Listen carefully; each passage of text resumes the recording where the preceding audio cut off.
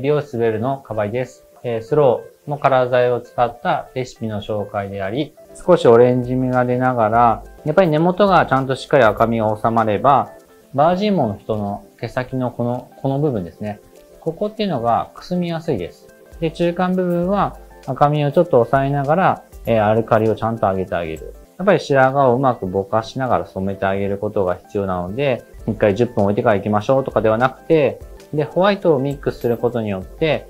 あ、ちょっと多分暖色系やってたんだなっていうのが、えー、抜け方からわかります。マージのラインですね。これをミックスすることによって、えー、髪の毛に対しての定着が良くなります。やっぱりここをいかに綺麗に明るくできるかっていうところがポイントになります。スローで言えば、このホワイトが一番